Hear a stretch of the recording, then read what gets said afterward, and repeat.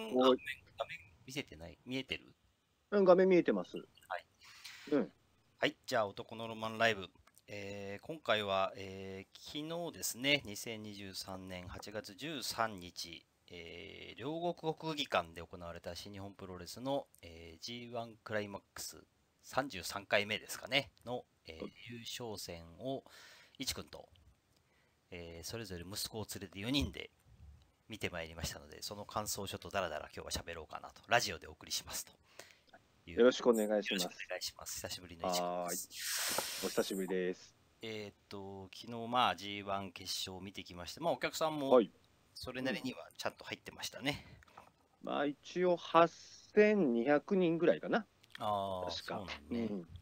そうそやっぱりやっぱねその超満員にならないんだね。う。ん。まあちょっとね、マス席がね、特にマス席の A 席、うん。いわゆるそこちらの後ろ側がガラッと開いちゃってたっていうのがね、俺らが末席のあれ B 席なんだっけ？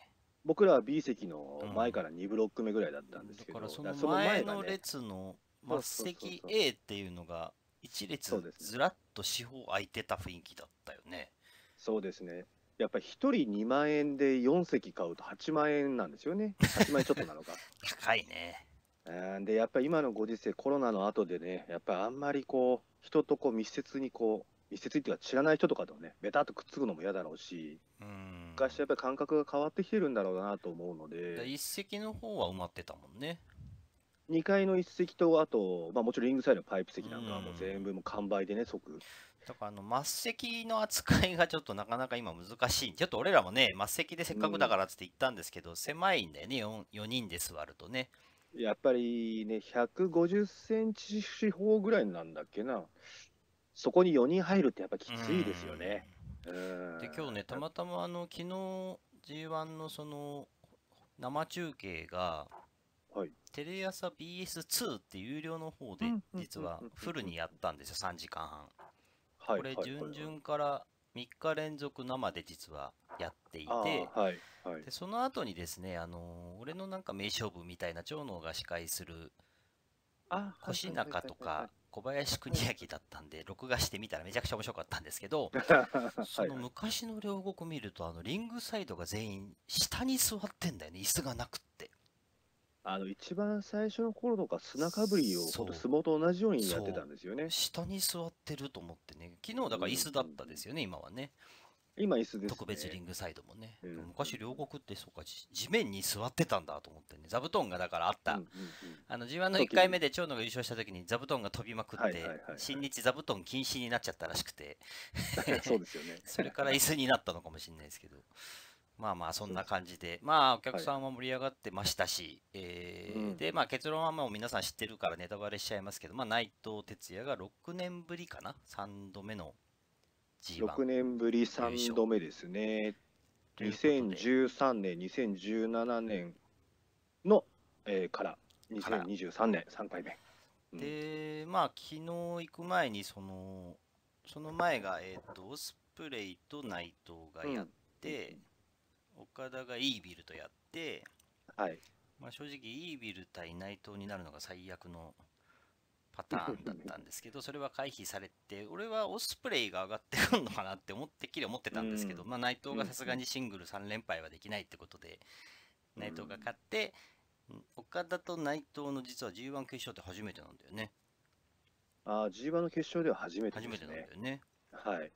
でまあ、お互いあの決勝に出ると負けたことないっていう者同士だったんであね。そうなんだ。なるほど。そう、内藤が3回目の決勝進出で、岡田4回目の決勝進出で、両者とも決勝では負けたことはなかった対決だったんですよね、確か。岡田はまあ3連覇を狙ってましたと。そうです。で、ちょっと意外だったのが、そのもう会場が9割方内藤推し でしたね。もう内藤、内藤で、とにかく内藤に優勝してほしいっていう空気が充満していたので、うんまあ、ハッピーエンドに終わって、で、運んで、久しぶりにね、大会場でちゃんと締めれたっていうので、まあ、ハッピーエンドだったんでしょうけど、まあね、ちょっとなんかね。なに内藤推しなんだっていうのちょっと意外でしたけどね。けど、まあ、去年のね、G1 の決勝もやっぱりもうみんなオスプレイに勝たせたいっていう雰囲気が充満して、まあ、声は出てなかったんだけど、うん、その、ただうんそうだね、オスプレイがだから今年あたり優勝してもいいんだけどなっていう正直ね、思ってましたけど、ね。ここでもう一回内藤なんだっていうのが、まあね。まあ順番子なんだけどねっていう、そのね、今の新日は なんですけど、まあまあ、まあ、今回内藤のターンだろうなって、41。そう、だね41歳だから、棚橋が最後に優勝したのも41なんでしょ？確かうんあと一人誰だっけ ?41 で優勝したの。いや、ド忘れしちゃったんですけど、多分放送かなんか言ってたらしいんだけど、41歳 G1 優勝定年生、定年説っていうのがあったらしいんですけど、なるほど。ただ長州が1回だけ44歳で優勝してるっていう話が後で判明したらしく。はいはい。まあ、内藤からすると、そのなんとなくもうラストチャンスで、で、うん内藤的にはこの後のその1.4のメインをやるっていうのが目標なんだよね。そこですね。なんとなくね、読むと。やっぱりあのね、あのドームでデハポン締めをするっていうのは彼の夢だったものがう、ん。うん、まあまあ、あの、2000、あれが、えー20年の1.4か、健太の乱入で乱入で、はい、潰できなくてで、すね。うん。そうそうその後ね、あのーどっかでできるんだろうと思ってたら、そこからコロナになっちゃって、そういうことなんだよね。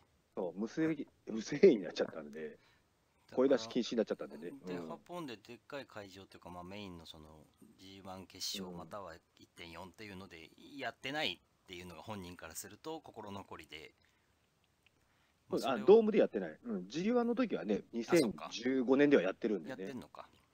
あ、2015年、ごめんなさい、2017でね。うん。だからまあ、本人のその祝願をファンが後押ししてたっていう空気だったんだなっていうのは、俺もちょっと全然最近それの流れが細かく分かってないので、後で読んでそういうことなんだと思いましたけど。まあただ内藤41っていうのはまあなんとなくそうかって感じだけど岡田和親がもう35なんだっていうのがちょっとびっくりしたんだけどね。いや、そうなんですよ。ね岡田もやっぱりピークをちょっと超え始めちゃってるんで。そうなんだよね。だからなんか内藤ばっかり言われてるけど岡田だってと思うんだけどまあただ岡田がやっぱり圧倒的に強いっていうのはみんな分かってる上で、そうですね今年は内藤にっていう感じだったんだなっていうのはねそうそうそう思いましたけどね。うん。しょうがないかな。まあそれで昨日の一応ちょっとチカードを、えーはいざっとだけ振り返ろうかなと思うんですけど、まあ興行全体としてはまあ本当にタックマッチタックマッチタックマッチっていうもう G1 の決勝1本っていう大会だってまあそれはそれでいいかなと思うんですけど、そうですね。えー第0試合はなくて第1試合が、えーうん。オスカー・ロイベアの組対、えーうん。清宮と大岩っていうそのノアのうん。新生清宮君が、えー新日のヤングライオンの大岩君と組んで第1試合ってこの辺の扱いがまあ新日だなと思いますけどね。そうですね。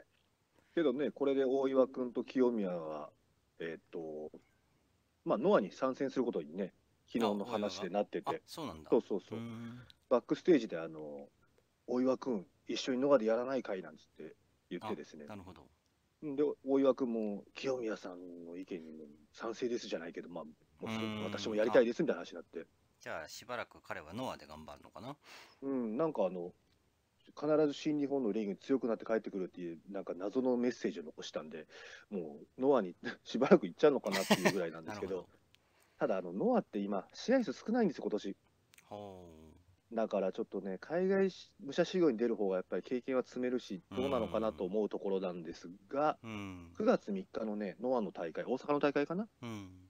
で発表されたのが、小川ザック組対あの清宮大岩組っていうね、なかなかちょっと興味深いカードが組まれたんで、ちょっと見たいなとは思ってますけど。な。るほど。うん。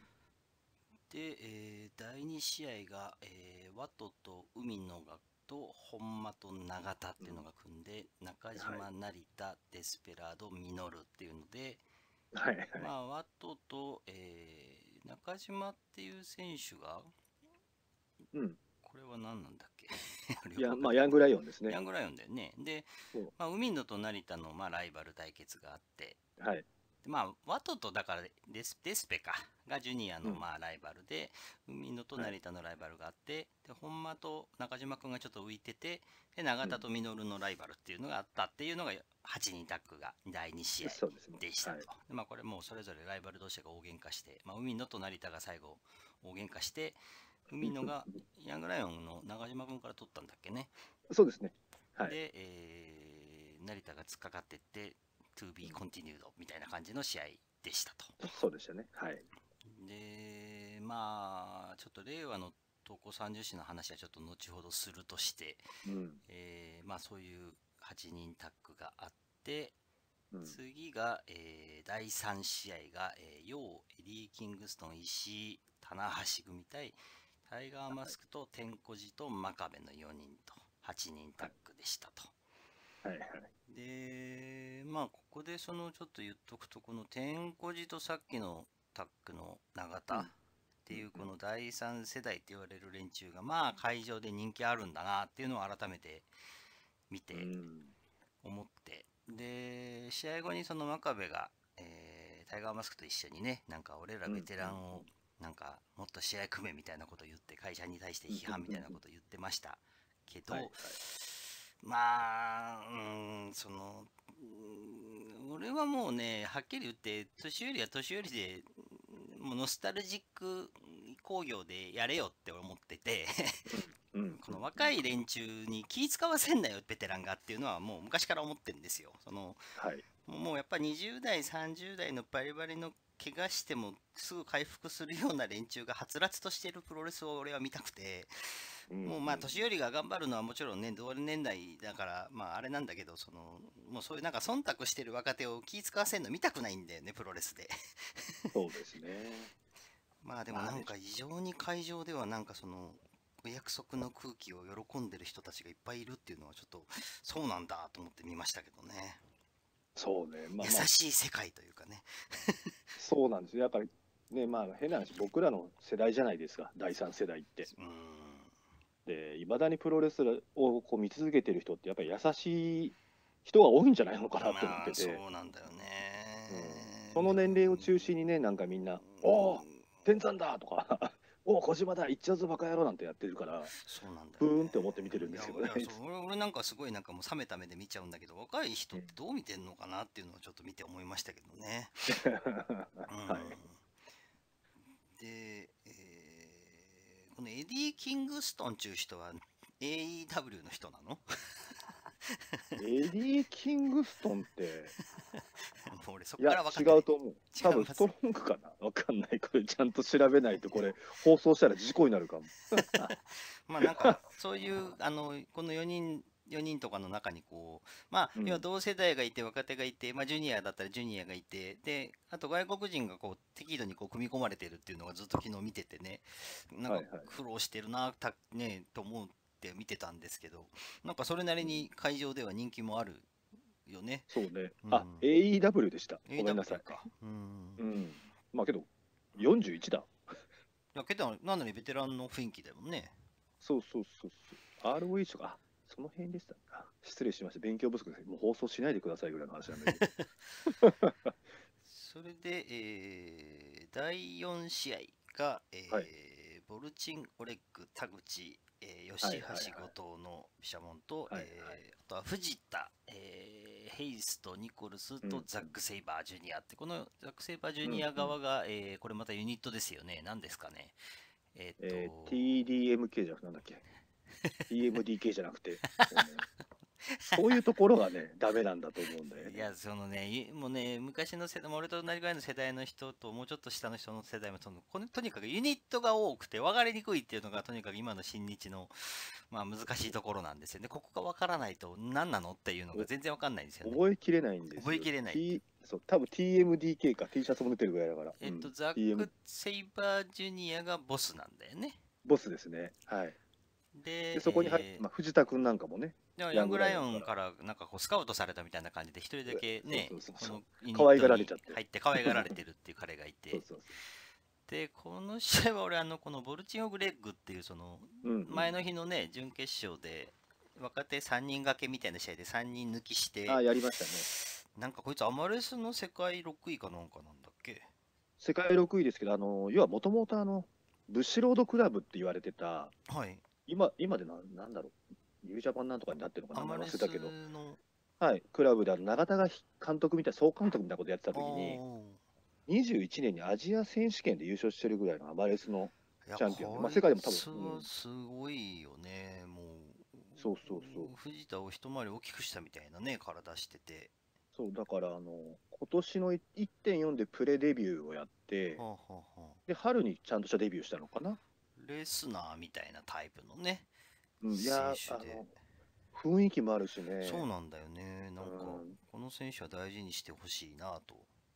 結構ね、思いました90センチ近い背背丈もあってうん、体もガッチしてね、うん、あの見てるだけで強そうだなって思えるし。多分今の新日見てない人はあれですけど、その要はあのヤングライオンっていうその黒パンツと黒タイツと黒シューティングシューズの若手と言われる枠はちゃんと存在していて、ちゃんとね、今の新日、そういう次世代育ててはいるんですよね、ちゃんとね。うん。うんそうですね。ん、それはななんだかんだ言って大したもんだなというかね、ちゃんとやってんだなというのは思いますけどね。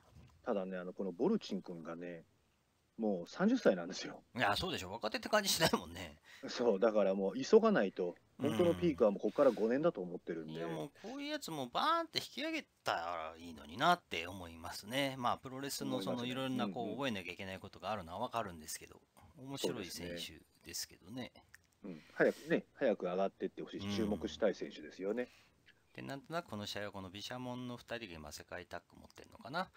で、負けて、えー次挑戦させろみたいなあの、うんイントロダクションの試合でしたっていう感じでしたね。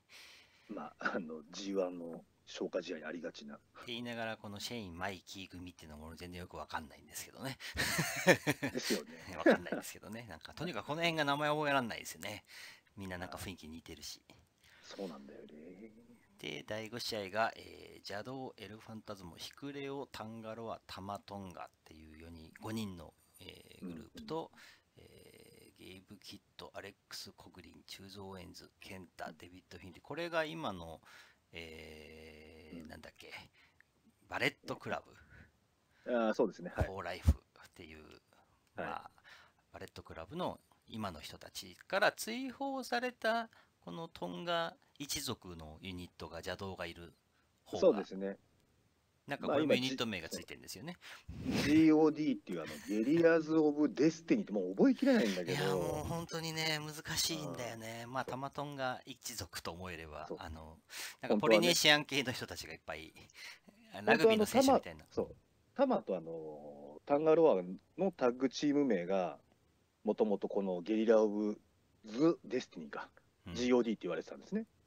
バレットクラブ内の中でタッグチーム名の名前をああなるほど。それぐらい独立してユニットになったってことなのね。そうなんです、そうなんです。うんうん、で、そこにあのエルファンタズモも試合を結局加入決定したという、あそうなんだ。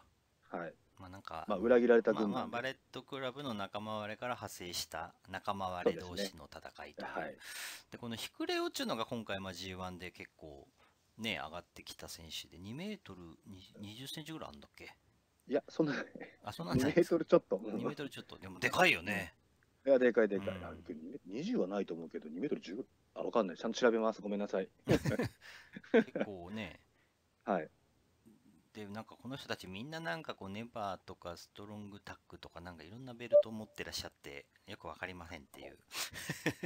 えっとね、一応ね、ちゃんと調べてみると、タマが、えっと、ネバーに挑戦、いわゆるあのフィンレイか。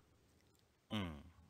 で、えっと、んうんうんヒクレオとファンタズモが、あの、もうあもう二人、誰か、あストロング、うんストロングのタッグ王座か。ストロングって何？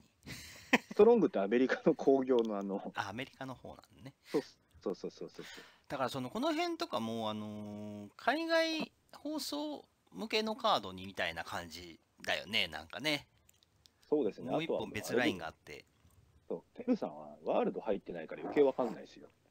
そうなんです。それなんでワールドに入らないのかっても今日いい機会な話したいんですけども、とにかくカメラアングルがクソなんで、もううん死んでも入りたくねえって、まああの夏菓子ラボさんには皆さん入りましょうって言われてるんですけども、うんうん俺はもう絶対入んねえぞっていうアンチワールドの急先鋒としてこれから頑張っていこうと思ってるんですけど、もうとにかくですね、あのー何が言いたいのかっていうと、とにかくカメラアングルがワールドプロレスリングもワールドもとにかくクソすぎるっていうのが90年代これずっと言ってるんですけど、そうとにかくね、80年代とかのやつを見てほしいんですよ、みんなにね。あの、うんうん引きのカメラなんですよ、とにかくメインが。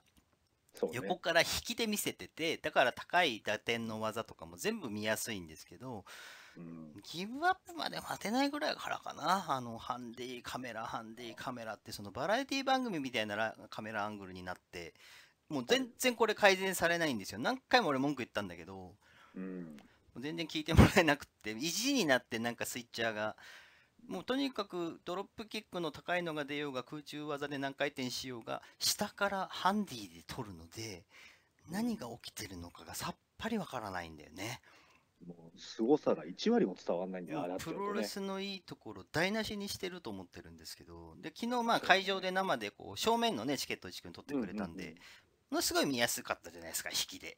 でそうおあおっていそうそのうん会場で見てるのが、うんもう本当にあれなら定点の引きのカメラい一カメラ1台の方がよっぽどいいわっていうぐらい今の中継が見にくいのがもう本当昔からストレスでもうイライラするんですよね。ねえしかもあれだよ、昨日、長野がほら、特別解説来たじゃないですか。うん。あの時の入場テーマ全部差し替えだからね。あやっぱそうなんだ。えどっちも、うんどっちも。ファンタスティックスティーもうん。あのなんだっけうん長野のあの。えっと、クラッシュね。クラッシュか。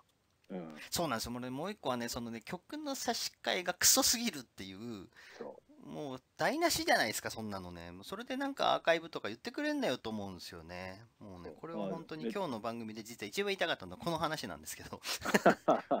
後に取っときゃよかった。バカかと思うんですけどね、本当にね、腹立つんですよね。プロレスのその魅力を伝えようというところの大事な要素をことごとくダメにしちゃってるので、うん月額999円払えって嫌ですってことなんですよね。もうやめてくれっていう。うん、なんで俺はだから BS のテレ朝2っていう有料の放送はお金払って見てるんですよ。はいはい。なぜかっていうとカメラアンガル一緒なんですけど曲はそのまま流れるんです。まあそうですよねうん。もうだからちゃんと金払って権利料払って高いかもしれないけどうん曲流してくれって思います。太一の入場とかも全部差し替えだもんね。ひどいよ。ひどいよね。本当に。まあそうなんですよね。もうそれでまあこの5人と5人があって、えーこれが第5試合でしたと。はいで、第6試合が、えーロスインゴですね。武士、ヒロム、辻陽太、高木慎吾組対、えーオスプレイ軍団ですよね。ジェフコブ、グレートオーガン、ヘナーレ。ユナイテッドエンパイアね。ユナイテッドエンパイア。まあ、うんグレートオーガン軍団って言わなきゃ怒られるのかな？よくわかんないですけど。で、この試合でなんと辻陽太ですね、今年の注目の、えー令和の闘魂30歳の一人が、はい。なんとウィル・オスプレイからピンフォール取っちゃって、うんえーいよいよオスプレイの持ってるタイトルに、えー辻陽太が挑戦するっていう試合になりましたとなーっ。ていう感じになりましたね。はい。で、俺もね、これもね、ちょっと後に令和の投稿30試合のとこでも喋ると思うんですけど、うんうんうんだったら本編で辻音あげたらよかったじゃんって思いましたね。なんかもったいねえなっていう。そこね。まあうんメインのストーリーラインがあるんでしょうけど、辻太はね、もったいないと思いますね。なんかこんなところでリセットしちゃうのはね、ねせっかくあんな化け物みたいにして帰ってきたのに。ちょっともったいなかったです、ね。初戦で真田に勝たしてもよかったと俺は思ってるぐらいなんですけど、うん。いや、なんかポテンシャルありますよね、こいつね、でかいし。あると思います。雰囲気あるしねまず大きいから、そう、大きいってね、大事なんですよね。で身体能力もそれに高いしね。そうだからオスプレイと互角にスピードでね対抗してやってましたもんね最後ねいやびっくりしましたよね開幕戦で清宮にね、ポーンとピン取られたのは、ちょっと僕は唖然としちゃって、おいおいと思ったんですけどね。まああれ同じブロックに入れるっていうのもちょっとねまあまあいろいろあるんでしょうけど、ちょっともったいないなって気がしましたねなんかですね。まあ、見たかったカードが見れたのは良かったかもしれないですけど。うん。でオスプレイがえっとこの間あれですねアメリカで、えー因縁の、えーキニオメガからベルトを取ってこれ IWGP なんて言ってたんだっけ最初 U、US ヘビーです US だったんでね、それがなんかあのオスプレイがベルト取ったら、あのベルト新調して UK ヘビーって自分が主張したら UK ヘビーってなっちゃってるのが、もうこの辺が適当だなっていう、適当すぎんだろうと、もうだって公式のサイトに UK ヘビー級ベルトって書いてあるもんね。そう、なんかね、もうね、なんか言ったもん勝ちなんだっていうね。そうそうそう。で、これまたあのオメガに取り返されたら U- US に戻るのかなみたいなね。よくわかんない戻るしね。下手したら辻亮太が取ったらあのジャパンに変わるんで。それ IWGP じゃねえかって話なんだけどね。いやなんかもうとにかくね、ベルトが多すぎるのも、まあちょっとこれもうんね、ねやっぱりちょっとね、IWGP の最初のね、リンまあ、シンマさんが怒るのもわかるなっていう、ベルト統一しようって始めたのに、いっぱいベルト作っちゃってるっていうね。まあまあ、ベルトいっぱいあった方が話は楽なんですけどねっていうまあ感じですけどまあね。一応アメリカ進出世界戦略も見据えてるからもうね。一人全員一本ずつベルト持ってるって話ですからね、ほとんどね。そうそうそうそうそう。何チャンピオンなんだっていうね。で、えー次が第7試合で、えー真田太一、金丸同期の、えーこれジャスト5ガイズですね、今。そうですね。はい。えーこれに高道の子を加えたユニットがあって、で、相手が、えーイービル、高橋裕次郎、ショー、ディック統合の、えーハウス・オブ・トーチャーっていうんでしたっけ、はい。で、このイービルが今回 G1 は結構影の主役で、うんうん。とにかく介入、介入、乱入、乱入でずっと勝ち上がってきて、あわや決勝まで来る寸前まで来てたんで、もう俺すごい嫌な予感がしてたんですけど、まあまあ準決で終わっちゃったんですけど、まあ、この試合ももう完全に彼らがやりたい放題やって、真田をなんか最後ね、あの手錠かけて吊るし上げて、ベルト没収してベルト持ち逃げするみたいな、もうなんか何年前のアングルなのみたいなことを一生懸命やってますよね、彼らね。なんかもうやってるねこの乱入、レフェリー、失神、介入、反則なのに勝つっていう、この古臭いアングルっていつまで続けるんでしょうし、日本プロレスっていう、みんな怒ってるんですけど、しつこくやってるよね。そう、これはね、な、なんでここまでこだわってるのか よくわからなくいや、昨て。日もだってもううん完全にセミファイナルでこれ主役でしたからね、彼らが。ねなんかもレフェリー失神していない間に乱入して好き放題やって反則してっていうのでいやもうなんか誰がそんなの見たいんでしょうっていう古臭いもうなんかプロレスが一番バカにされるあの アングルをしつこくこすってるのがこの辺がねなんかその邪道とか下道っていうそのインディーの人たちがこうブッカーやってるうんアキラ兄さんが怒ってるとこだと 思うんですけどねなんかまあインディーかよっていうう、そうかも。うん。これはちょっとなんかもうどうでもいいなってものすごい冷めちゃうんですけどね。まあ俺はそんな中でもこの高橋裕次郎という選手がものすごく まあ前から言ってますけどうんどういうモチベーションで毎日リングに上がってるんだかがわからないんだよね。ねえ。いや矢野徹みたいになるのはわかるんですよ。はいはい。ああいう生き残り方っていうのは俺はあれあれあれはあれで好きなんですけど。いやなんかもう完全にイービルの古文っていうなんかね狂気持ってくる係みたいな、でやられる時やられる役っていうなんかお前はそれでいいのかっていう噛みつかないのかっていう あの本当にちょっと小1時間話したいですけどねうんもうどうにもなってないもんね。あとまあショーですよね陽の相方が悪くなって、うんなんかスパナで勝つっていうそうね。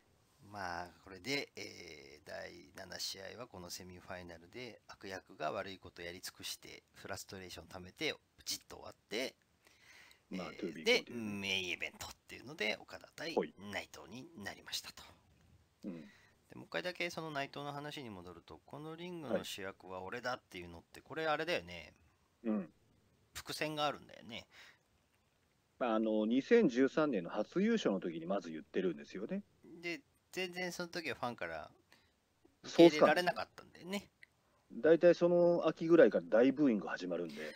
そうなんですよね、内藤っていうのはうん本当になんかこう武藤の劣化コピーみたいな、ちっちゃい武藤みたいな感じで出てきて、うん。もう格好つければつけるほどファンからソース感食らってたのが、まあ、やりたい放題ね、やりだしてファンの支持を集めてっていうところにつながってるんで、まあ、それをもう一回ここで改めて言って、リベンジしたっとなんだろうなっていうのはね、まあまあ思いましたけど。そう3回優勝して3回ともこれ言ってるんですね、要は。うんで最初の時に言って大演出家って、おめえじゃねえよってみんなが思ったっていうことから始まり、大ブーイングからロスインゴができて、まあまあメキシコが帰ってきて、で、まあみんながこう、ね、支持し始めて17年に優勝した時にも同じこと言って、みんなが、おお、そうだそうだみたいになって、で、今日、うんあ昨日か。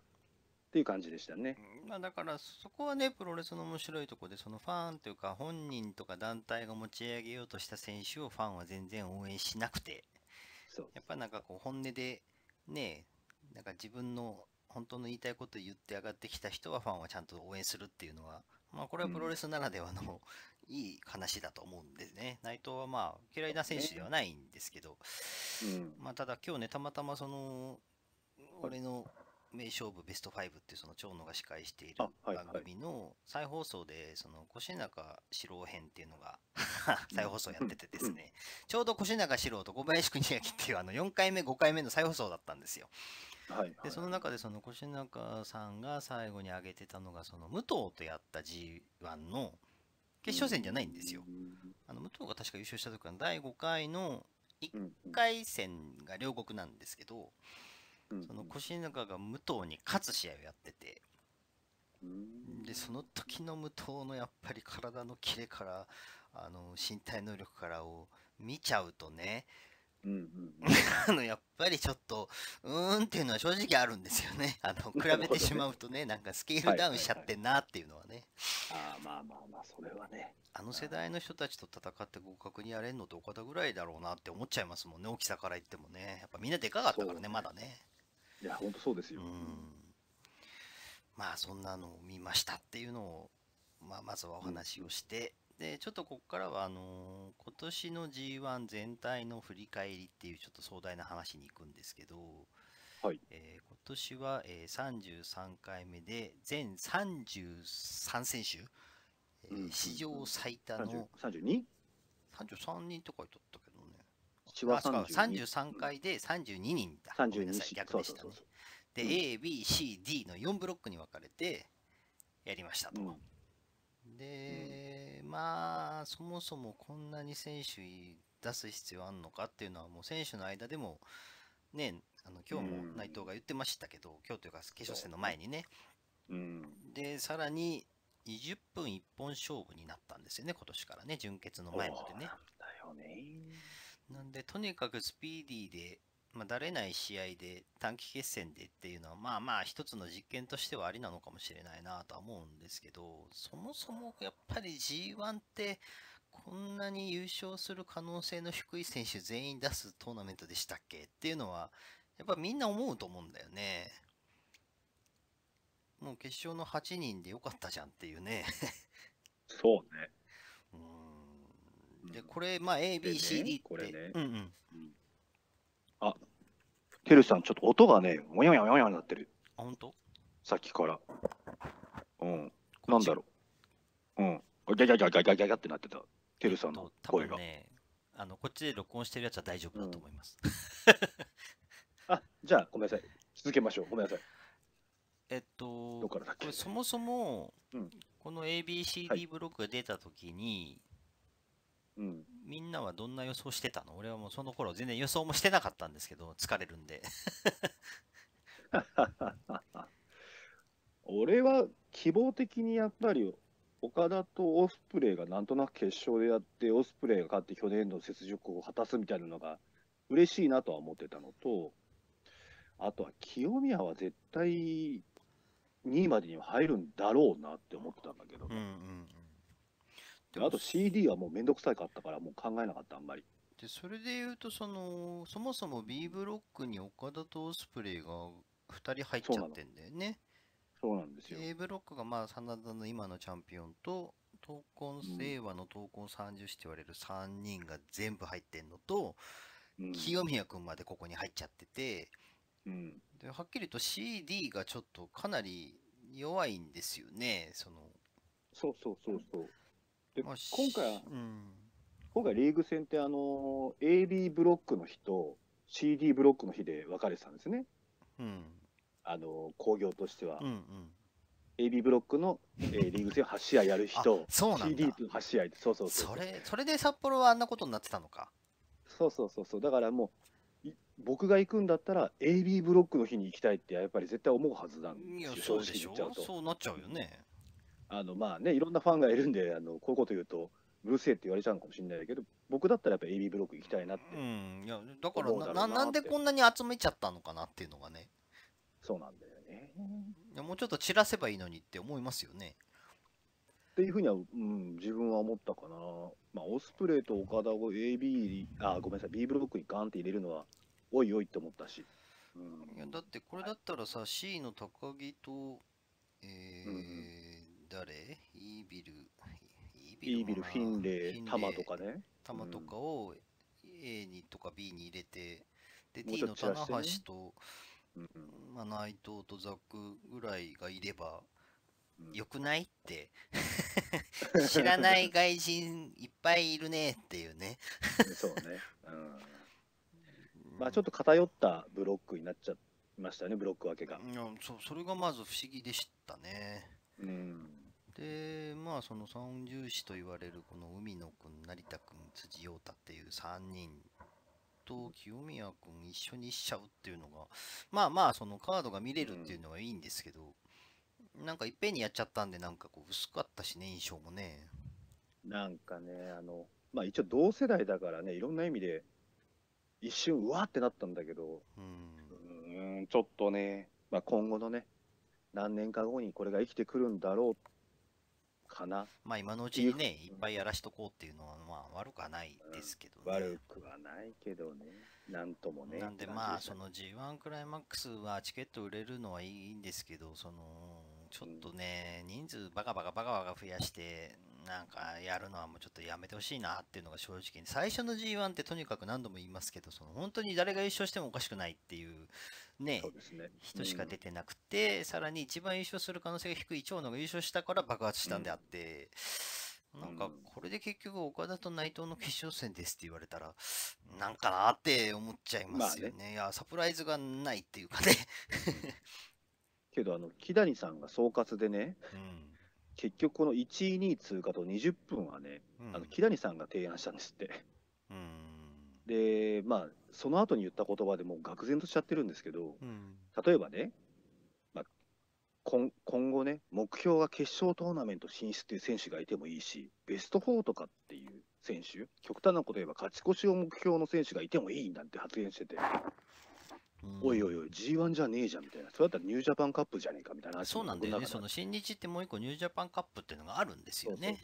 そうだからやっぱり G1 はね、なんか神格化しすぎてるみたいなこと言ってたらしいけど、僕的にはテルさんが今言ったみたいにね、しっかりと逃げ場のないところで、いやなんていうのかな。ー、誰が負けてもおかしくない、誰が勝ってもおかしくない。そうそうねえ、まあ、誰が負けてもおかしくないってのはおかしいな。誰が負けても困るっていう人たちだけが出る本当のグレード1でやってよっていうのは正直思いますね。で、こんなに長くやられると、ナイトも言ってたけども、最初の頃のこととか覚えてねえし、全部追うやつなんて本当に好きなやつだけですよ。もう追い切れないんですよ、こんなにいっぱいやられるとね。うんこんなにいらねえって思いますね。工業会社として正しいのかもしれないですけどもね。でも結局それでもさ、CD ブロックだけやった日ってチケット余ってるわけでしょ？余ってます、余ってます。札幌だけうんなんか2日間やって2日目ガラガラだったって書いてあったもんね。あーそうね。うん。それはそうなるわっていうね。考えようよって思いますけどね。何を考えてこうしてるんでしょうっていう。まあで選手の間からもそういう声が出てるのに、誰がやってんでしょうねって思いますけどね。こんなんだったらね、あのもう、第一シード的に8選手決めて、あとの8選手は残りの選手とか、トー。ナメント決勝トーナメント進出トーナメントやりゃいいんだよね。そうそううそうそう、ん。そんなこと言うんだ。だったらね。ややこしい話にしすぎてるし、もう木谷さんはね、あのマニアがジャンルを潰していくみたいなこと言う人だから、いやだから逆だ新と、逆だと思うんだよね。マニアじゃない人はこんなにたくさんやったって誰も追いかけませんよっていうね。だからね、まあちょっ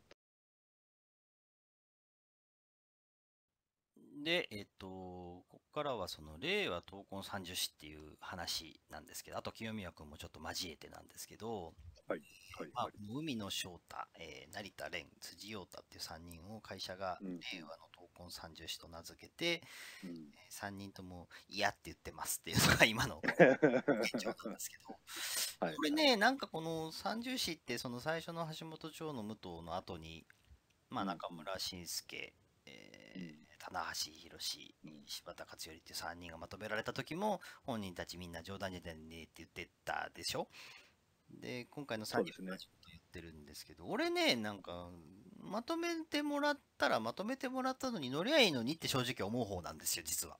ほうん、あの、なんか、もう反発するアングルももう飽きたし、いや、3人でやってきますよって。で、上と喧嘩しろよと思うんだよね。いや、もう岡田、棚橋ないといい加減どいてくれって言えばいいんですよ、そんなのね。なのになんかこの3人でなんか仲間割れしてなんかガチャガチャガチャガチャやってんだけどさ、なんか、そんなの別に見たいんすかね、みんな。どうなんだろう、今の人は。わかんないけど。俺は、あの、もう、くくられたんだったらくくられたでいいよって一人ぐらい言ってもいいんだけど、3人が3人とも嫌っつってんだよね。そこなんだよね。そこなんだよ。ねなんかね、とにかく人と逆のこと言えよって思うんだよね。そうね。いや、俺喜んでやりますよって、なんなら3人でトリオでタッグ組みますよって、他の2人が反対向くんだったら言うこと聞かせるぐらいのことやりゃいいのにさ、1人ぐらいさ。なんか3そうね人が3人反対って言ってて、何にもドラマにならないじゃないですか、そんなの。そうね。じゃあね、辻ぐらいがね、じゃあ俺がリーダーだってあいつら下に従えようかぐらいのこと言ってくれたら面うん白かったんだけど。本当に。うんいやで別にその会社がくくってるどうこうっていうのはいいんですけど、とにかくその、いや、この3人がとにかくこれからなんとかしなきゃいけないことは事実であってね、ちょっと一回そういうしあれをちょっとどっかよそに置いて、その上潰そうぜみんなでってやりゃいいのになってうんうん思いますけどね。いいと思う。だってあの、辻だってなんだかで30だからね。ああ、まあそうなんだね。確か。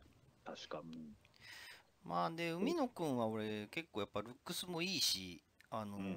花があるんでね、あのーなんかよくわかんないのが、あのー師匠誰だっけ？モクスリあの、ももくすり、はい。うん、知らないし、そんなやつに弟子入りされたって何の嬉しさもないんですけど、あのーまあ、でも海野くんはいいなと思うんですよ。で、辻陽太はやっぱバケモン的なキャラで面白いなと思って、俺、成田なんですよ、とにかくこの中で言うと。そこなんですよ。もうね、その鈴木みのるのストロングスタイルってこと自体にもう俺らの世代の人たちはなんか、はっていう感じがあるので、正直言わせてもらって。もうなんかそのコブラツイストやればストロングスタイルってのやめてほしいんですよね。そうね。本当にまた、まあ、あんまりこういうこと言うとね、あれだけど、そんなにかっこよくないんだよな、コブラ。いや、本当にやるんだったら、本当なんかこの間宮田さんとこのキャッチのね、あのーとこに行ったみたいなこと出てましたけど、そんな名ばかりじゃなくて、本当に真剣にやってほしいですよね、そのキャッチをね。でその。彼がやってるのは柴田勝頼のストロングスタイルであって、うん本当のストロングスタイルってサッカー PK とかやらないんじゃね？って俺は思うんですよね。そうね。なんかそのだいぶ薄いんですよ、ストロング要素が。だからね、何をもってストロングスタイルって、彼がこう判断していくかの、この取捨選択がね、ちょっと間違ってる気がしててね。まあ、鈴木みのるがいる以上間違いますよ、それはね。まあね。うん、あの申し訳ないですけど、ストロングスタイルじゃないですから、それはっていうね。ゴチさんに習ったかもしれないですけど、そうなんだよ、ね。俺はちょそっとそっちの路線そっちの路線はちょっとね、なんかもう、スストロングじゃない人がストロングっていうのはやめてほしいなっていうのが正直な。何なの、ストロングスタイルってっていう。ファッションストロングスタイルっていうのはね、もうほんと腹立つんですよね。まあでも、成田君はちょっとあの、まあ、久保のテイストだったら、昨日のね、海野との張り合いでも打ち負けるわけですよ。うん、毎回そうだもんね。心が折れるのかどうなのかはよくわかんないけど、せめてそこは勝てる。あと何に勝ってるんだって、俊敏さでも負けている。華やかさでも負けている。じゃあ、ストロングスタイルだって言いながら、こう唾液の差し合いで負ける。もいやだからな何を持ってるの？みたいな。ペチペチペチペチ交互に打ち合ったりするのもストロングスタイルっていうのやめてほしくてですね。そうね。一瞬の隙をついて決めるっていうところを極めてほしいですよね一人ぐらいね。う、そうそう。だ、そっちの路線をうまくね、掴めればいいんだけど、全然その、うん、まあ、ここと言うとまたおっさんがうるせえなと言われるんだけど、その殺気というかね、いやだからそのみんなと違うところを目指すっていうそのセルフプロデュース能力の話でねみんながそういうことやらないんだったら黒タイツ履いてっていうのまではいいんですけどうん。もうちょっと本当にその我々が見てもなんかあこいつっていうやつをやってほしいんですけどなんかねうん。今時のファイトやるんですよなんか普通に、そうですね。うん、うん。徹底さが足りないなっていうもっとこう極めてほしいなってあの思いますね。そういう路線を目指すんだったらせっかくね。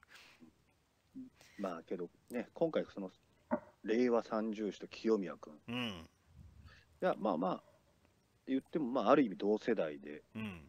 今回の中でね、いや、そうなんだかんだ言って、この後うんの時代作ってもらわないといけない人たちです。からね、この人たちがねよ。本当にその岡田とか棚橋とか内藤にちょっとお前らもいい加減どいてくれよって言ってほしいんでですね、そうですね。ここはなんか一致団結して競い合いながらでも一致団結して、なんか新しくなんかこう、動き出してほしいですけどね、その、ナウリーダーじゃない、ニューリーダーでね、ね。古いですけど。うん。いや、清宮君もね、そういう意味で言うと、まあ本当にプロレス界の全体の大事な宝として育てていくっていうなんか流れができてるのはいいことだとは思うんですけど、そうですね。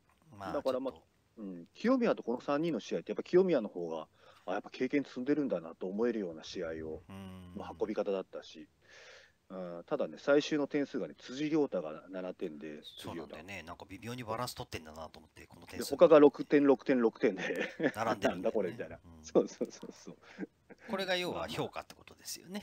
ってことだと思います。7点、はい。6点、6点、6点っていうのがね。そうそうそうそう。まあ、清宮君への愛に関しては、まあ、懐かしラボさんを聞いていただくとしてですね、そうですね。俺はちょっとそこまで語れるほど知らないので、まあ、ただ、ルックスもいいし、まあ、あのなんかわけのわからない、ね、あのコスチュームがやめてくれっていうのは俺も同意見ですけど、もうちょっとなんかこう、ねうん、あのーなんか、一皮向けてほしいなと思いますね、せっかくいい選手ですからね。そうですね。ぜひね、大岩君と組んだタッグでね、大岩君が裏切って、俺は本当は慶応さんについていくとか言ってくれたら面白いんだけど。まあ、剣王君もなんかね、今、清宮君の教育係みたいにね、なんかなってるみたいですからね、なんかね。なんかよくわかんないなっていうね、あのそういう育て方なのかっていう感じですけどね。はい。であと、その AEW ですね、そのアメリカの、まあ、WWE に対する対抗馬として、まあ、はい。巨大なね、今、組織になりつつある、うん。まあ、ケニー・オメガがいるところですけど、あっちとね、その新日本は今、交流していて、海外戦略っていうのを同時並行でやってると。そうですね。いうのがあって、そこからたくさん新日にどんどんどんどんいろんな人が来るんですけど、これがね、うん。ちょっとなかなかやっぱりこう覚えきれなくて、え ー今のね、若い人たちはみんなちゃんと把握してついていけてんのかなっていうのがちょっとわかんないんですけど、いやー、ちょっとすごい数だから、僕ももう分かんなくなってすごい数だもんね、本当にうね。ん。で、まあ向こう行ったら新日本もね、すごい人気あって、まあ、そういう意味ではね、もう一本の柱としてはうまくいってはいるんでしょうけど、そうですね。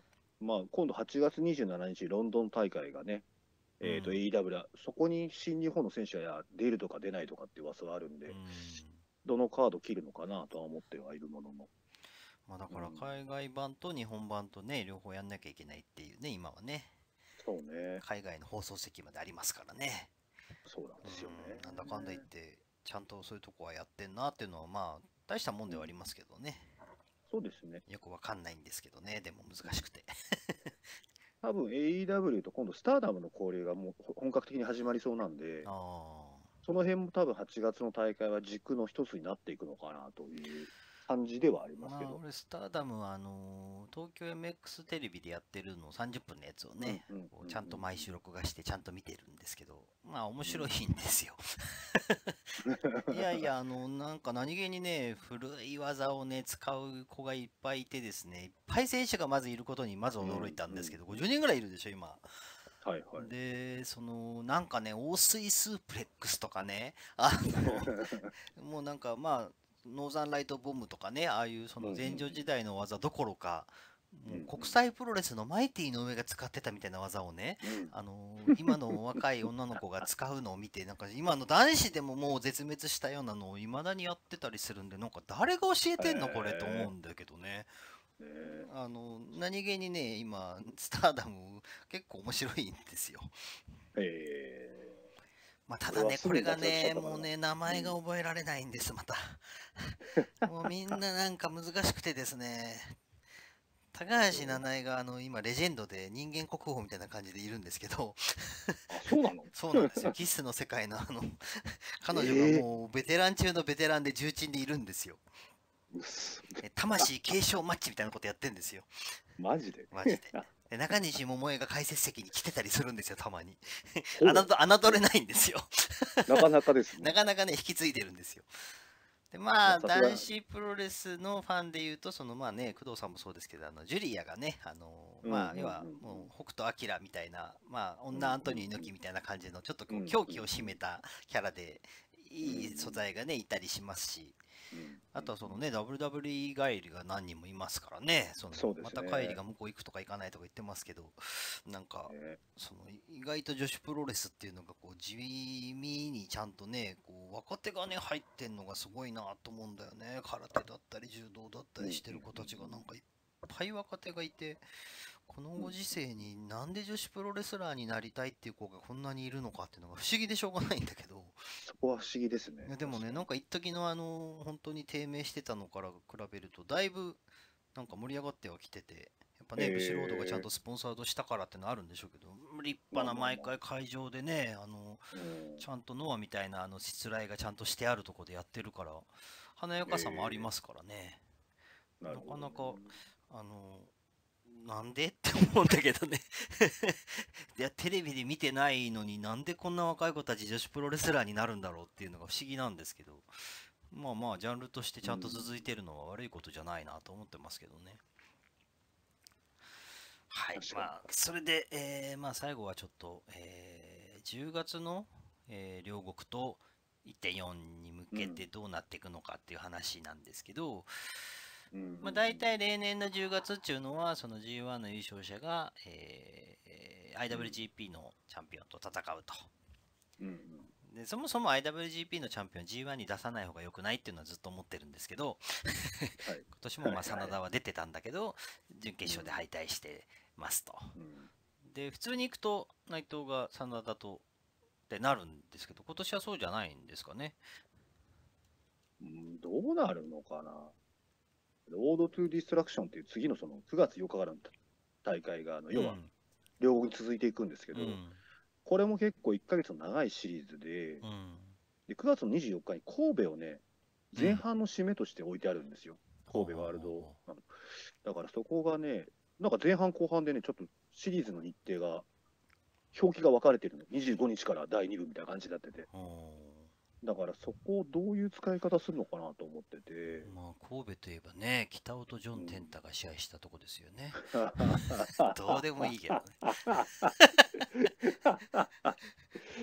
そうだからねどう、どうなっちゃうのかなっていうのは、なるほど。うん僕なんかはね、希望としてはね、924にもう、イービルとさんとそこでやっちゃえよみたいな思っちゃうし、うん。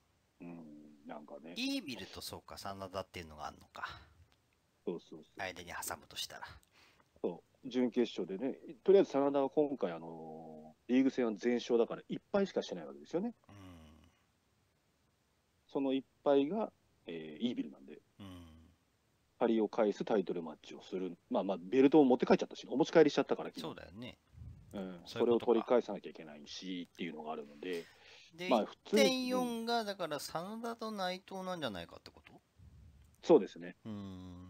だからまあ、ね、先ほども話に出たあのドームでね、あの真田と内藤をやって、内藤勝ったらね、うん。もう内藤ドラマのクライマックスですよね。なるほど。で、八本締めを健太に阻止され、コロナになってしまい、かなわないと思ってたのが、ね、ドームでこう、デハポン締めを内藤を裏切った斎藤を破って、まあ、成就するわけですよ。なるほど。最終回ですね、内藤の。なるほど。はいはい。なんかそんな感じなのかななんて、なるほどね。こん。なこと言うと夢がないんですけど。うん、で、岡田はあれだよね、この間 AW で負けた。そうね、ダニエルソンうん。かな、っていう噂はなんとなくありますけど、まあそうでしょうね、普通に考えるとね。最近のツイッターのメッセージのやり取りで、なんか、いぶしとやるんじゃねえかみたいなこと言ってる人もいますけど、うん、まあまあ、それもそれで面白いっちゃ面白いんですけど、まあ、うん、なるほどね。まあ、俺はももうちょっといいかなと思いますけどね。そう僕もまあ勇者はいいかなとは思ってるんだけどうん、もうもういいんじゃないってあんな出ていき方した人とね、無理に絡まなくてもって思っちゃいますけどね。うんまあでも何が起こるのかが分かんないのがわかんないだとすると、あり得るかもしれない。そうですね。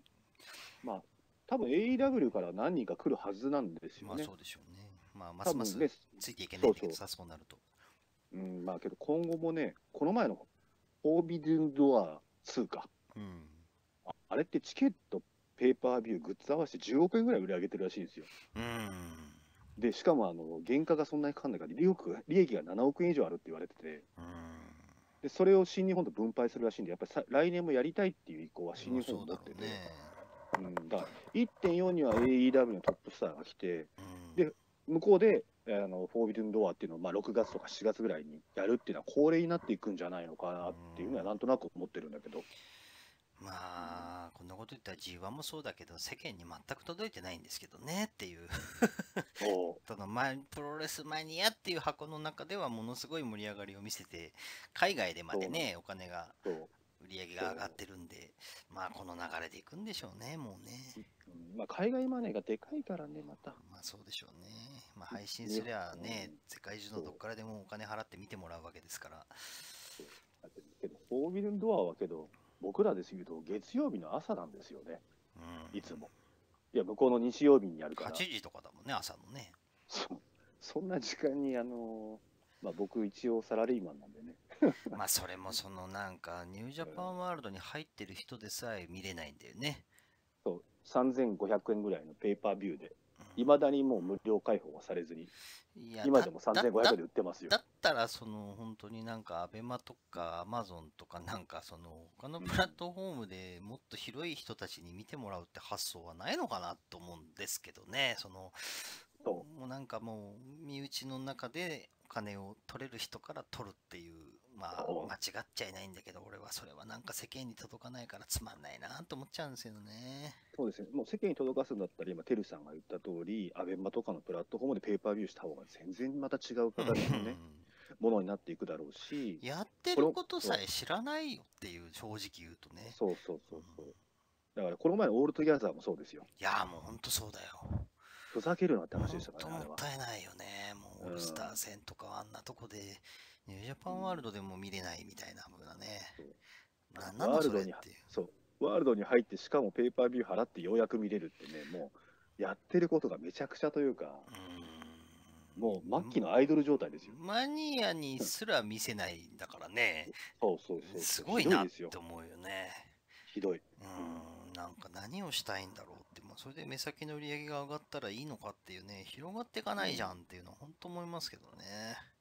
だから、あの、ね、去年、あの、ノアと電撃的にね、1月にやったじゃないですか。う。あれはいいあの時、アベマでね、ペーパービューででやったし、あれは全然、もう、あこういうこと、こういうことと思って、すごいいいことやってるなと思ってたんですけど、そうなんです。あの路線で行くべきですよね。うん、そうなんで囲い込むのかなっていうのがわかんないな。うん、もうちょっとね、もうちょっと、もうちょっともう、新日本も名手として、業界全体を考えてね、一般にどう届けるかっていうのをね今年、のもう岡田と内藤の決勝戦、清宮が乱入してめちゃくちゃにして暴動を起こしてほしかったですけどね、本当に。まあ、それもね、本当に。それもね、もう新聞沙汰になれっていうぐらいの。今そういうことが起きたらどうするんだろうね、みんなね。文句言いながら黙って帰るのかな。ね、もうね、まあ火つけるやつはなかなかもう出てこないだろうけど、まあ、火つけろと言ってるわけじゃないんですけど、あの、どうしてもね、こう昔を見てる人間からすると、なんかこう、コップの中の嵐でどっちが勝っても別にいいじゃんっていうね、あの申し訳ないんだけど、なんか殺伐さがね、まあ、ねもう時代なんでしょうね、それがね。うん、ハッピーエンドで終わらなきゃいけないんですよね、やっぱり、まあまあ、ハッピーエンドでこ終わる大会もね、あっていいと思うし、あんなうん。健太の乱入みたいなわけのわかんないことする必要は何もないんだけど、うんうんうん。うん。いや、俺はなんか清宮に乱入してめちゃくちゃにしてほしかったですね。俺はどっちかというとね、最後にね、別にこれ別に何の次元にもならないんだけど、急に内藤が長野のことをね、優勝旗もらった瞬間に張り倒して、なんか武藤のね、引退試合の時、俺を打診しやがってって言ってほしかったなと思って。あれはひどかったからね。そう。あれは長あれは野が悪いんじゃないからね、でも。まあね、そうあれは。長野が悪いんじゃないからね。あれは武藤が悪いんですからね。でも長野がね、スタスタ今回歩いて出てきてたら嬉しかったですよね、なんか。そう。あの、ね武藤と試合した後、ちょっと元気になったんだなと思ってね。杖なしでねそう。普体通にスタスタ歩いてね。全然うん歩いてた。うんいやそうそう上から見てると、もう大竹誠か誠かなっていうぐらい痩せてましたけどね。あの、いや、なんか元気に歩いて帰って出てきてね。うんあれは嬉しかったあれは嬉しかったですよね。だからね、せめせっかくだからね、内藤が、おめえの引退試合、俺が相手してやるよって言って、でまたあ武藤が出てきて、一夜限りをカムバックして、また取られるっていうね。やってほしかったな。いやー、なんかね、ちょっとこう、サプライズがね、あんまりないですよね。足りないよね今。も足りない。。うん、ないね。なんかこのイービルが手錠かけてサプライズとかって、ね、やめてほしいんですけどね。それサプライズじゃないからっていう。本当に、あんなのどうでもいい話の一つだからな。どうでもいいんこですよね、本当にね。こと言うとね、また若い、新しいファンまあ、あの、俺のチャャンネルは若い人は聞いてないんで、なるほど。大丈夫ですよ。まあ 全部あの俺らより上の人たちが聞いてくれてますからあのまずその新日で今のこの状況がわからない人たちなんでその人たちも聞かない可能性があるんだけど まああの多分に、ね、いやーほんとね俺のチャンネル見てくれてる聞いてくれてる人からするとえ今だにプロレス見てんすかって感じだと思いますよ本当に。そうなのかな。うん。まあその今は今でね面白い部分もあると思いますんで全部否定するつもりもないし、昔が良かったって全部言うつもりはないんですけど、うんうんただなんかその選手一人一人のその個性の立たせ方とかあとね。あの昨日もずっと会場であのずっと延々なんかこう流れてる、まあ、テーマ曲もそうですし、うん選手たちのユニットの入場曲も全部ね、うんとにかくなんかスラッシュメタルみたいなキンキンのギターが聴いた曲ばっかりなんですよ。多いね。もうあれがね、耳についてうるせえんだよね。あのうん、確かに。今の大会ってとにかくもう3時間のパッケージで、まあ、うん WWE みたいにそのずーっと切れ目なくね試合が続いていって誰は誰もね誰なくていいんですけどなんか曲も全部一緒ユニットも全部似たような感じでパッと見た目に誰が誰だかわからない。みんな同じような衣装を着てる。でキラキラキラキラなんかフリフリフリフリついてる。うん。もうなんかね、そういうとこ逆行かないと、うんなんか目立てないよって本当思いますね。だから岡田があのガウンに変えたとかね、黒いタイツに変えたとかっていうのは俺はだから評価してるんですけど、なんかみんなと同じことをししてちゃダメなんだけど、プロレス村にいるとね、やっぱりそういうところが、あれがいい、あれが普通だってなっちゃうんですよね。うんまあまあ、そうかだから世間に目を向けてほしいなっていう、プロレスってまだやってんでしたっけって人の方が圧倒的に多いんだからね、まあね。その中でどうやってもうちょっと目立っていくかっていうことを世間に喧嘩売っていくっていう人が誰もいないのがちょっと本当に今、うん新日本プロレスってそういう団体なんだけどなっていうのは本当に思いますね。まあね。まあ時代じゃないと言われてしまえばそこまでなんだけど。まあね、新日の昭和にできなかったその世界戦略やってたりするところは逆にね、今の新日のいいところではあるんで、まあそれはそれでなんですけど、日本国内の世間に届くことをもうちょっとやってほしいっていうのが本当に希望ですけどね。そうですね。まあそういうわけで、期待もありながらね。まあそういうこけど。うんあれでしょ。声出しのあの G1 の決勝を久しぶりに行ってみたら、うんやっぱ面白いですよね、現場はね。いやーなんかあの隣にいたブースの連中がうるさかったね。ダメもんね。マス席で酒出したらダメよマス席で酒出して酔っ払いがね、なんかこうプロレスを語ってるのがもうなんかずっと聞こえてきてもイライラしましたね。なんかもうあのプロレス会場で。プロレス会場でその試合見ないでなんかこう自分のプロレス知識みたいなのひけらかすやつっていうのはもう本当ね、もう俺からするともうなんかもう蹴り倒して張り倒しちゃうなんですけどね。まあ、両国の一番ダメなとこです、あれ、マス席の。まあ小学校6年生のうちの息子ですら言ってましたからね。あ、本当？うぜえって。で、あのーあまりにも内藤推しの箱の空気が強すぎて、もう岡田を応援してたって言ってましたよ。そう岡田応援してるなと思って横目で見てたんだ。いや、もうね、あの内藤を推してる空気が、なんかシーンってなるとこが見たかったんだって。あそっちなんだ。そうなんですよ。えー、うちの息子が、なんかあれだねって、岡田応援してたねって言ってたこんなこと好きなのかなって、違うと思うけどなんて話をしたんだけど、帰りに。いや、オスプレイなんですよ、本当はね。で ね、オスプレイって言ってましたもんね。なんだけど、そのね、いや、なんでかなと俺も思ったんだけど、はいいやとにかくあの内藤をみんなが応援してる空気がうざかったって。あーでそうそうあれをぶち壊してほしかったって言ってましたよ。まあけど、それは見たかったな。シーンっていうね。けどね、結局、岡田の説得力って実はちゃんとあって、生で見てるとね。いや、やっぱりね、うんなんだかんだ言ってやっぱでかいですから、そうそうそうそう内藤がディスティーナとかかけるのが一生懸命かけなきゃいけないっていうのが辛いですよね、見ててそうね。なんですよ。う ん去年の決勝もだからオスプレイに勝ったじゃないですか。うん。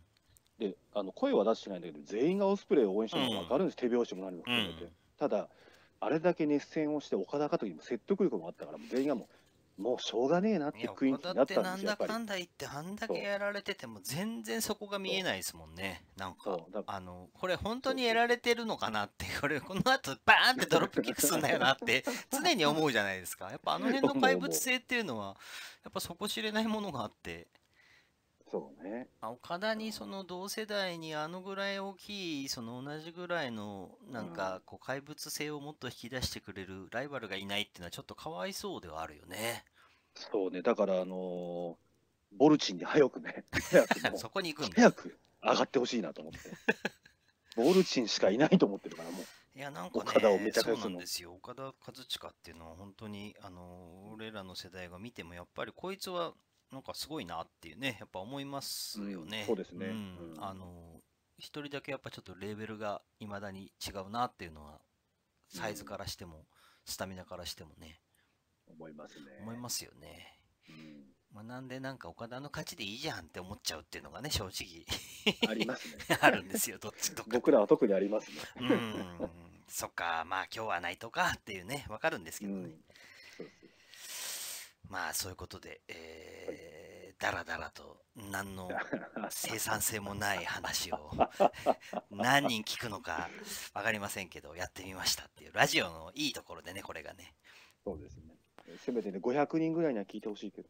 そうですねまああの大体俺のチャンネルはコアな人が3000人ぐらいみたいなんで2、3000人は聞いてくれるみたいなんですけどそこから伸びないっていうねあの 分かりやすい 壁があるんですけどまあまあ今のプロレスもちゃんとこうやって見て、まあ、たまにこうやって適当なことを喋ろうかなと思ってますのでですね。まあ懲りずに、えーまあねあの本当にあのちょっと著作権問題でいろいろあったんですけどうん。まあ、あの無情にもチャンネル解約していった人がいっぱいいまして、あのークソと思ってたんですけどね、その中でも本当に継続して応援してくれてる人がたくさんいることも今回よく分かりましたし、えーうん。またね、地道に一時期行ってた1万8000にめがけて、着々と人数が伸びてきてくれているので、ねまあ、ちょっとね、意地になってこのお盆期間、あのスタッフの人が頑張って過去作をこう ラジオエディットで配信してくれたんでではい、すね、ちょっとまたこれからも、もうね、9月末まで実はラインナップ全部収録済みなんですよ。